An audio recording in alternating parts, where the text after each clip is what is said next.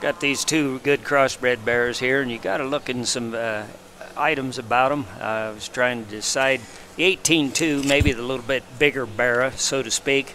You talk about litter mates to the two that just exited, and you can see uh, interesting pedigree uh, that reads to hogs that end up in championship drive, and that one there, realistically, with that length of neck, that huge forearm, strength right behind his shoulder blade. I mean, he's got better days ahead.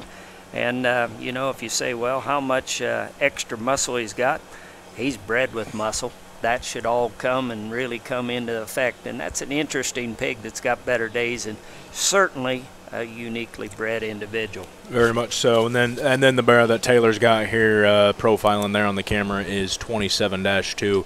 Uh, very neat marked, neat looking uh, type of crossbred barrow, and that's an exit only bail money dinero and you've heard the exit only name a couple times and that's because it works and uh, you know this barrow isn't he's not a big pig uh, but he's also a legit january crossbred barrow so uh, he's not supposed to be real big at this stage of the game uh, but I still think he can work uh, for your county fair, state fair, uh, do kind of whatever you need to do on, on all these crossbred barrows. I think they all got a pretty neat look and they're still stout and heavy muscled. Uh, they'll feed. They'll feed right. Uh, you can feed them hard, feed them easy, and go where kind of wherever you need to go.